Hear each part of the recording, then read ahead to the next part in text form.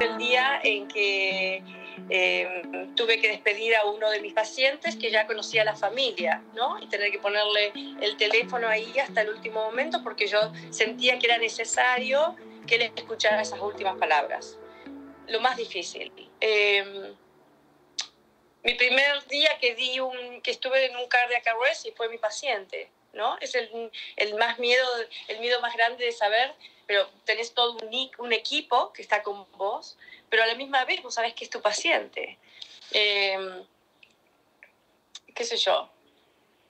Un montón de días difíciles, un montón de situaciones críticas, pero que se compensan en el mismo día con algo positivo.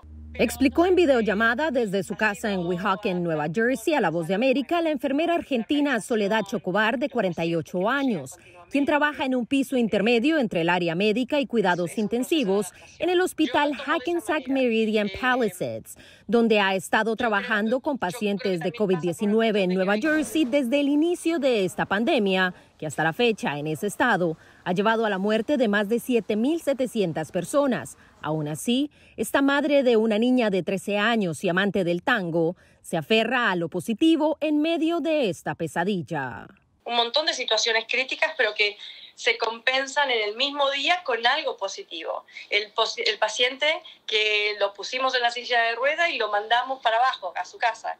Eso es fantástico. El día que tuve un día oscuro o un día muy estresante corriendo como loca y salgo a un cartel que hay en la pared y los pacientes que se van a la casa siguen aumentando.